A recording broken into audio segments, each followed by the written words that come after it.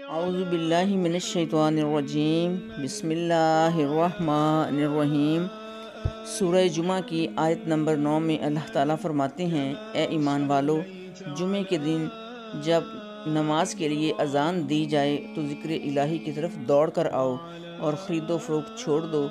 अगर तुम समझो तो यही बात तुम्हारे हक़ में बेहतर है।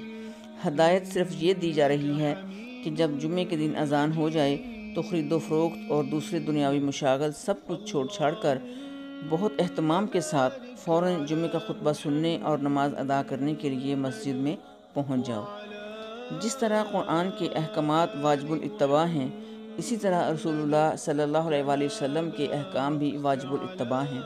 और जो शख्स सिर्फ़ कुरान को ही वाजबुल इत्तबा समझता है, वो दरअसल कुरान का भी मुनकर है।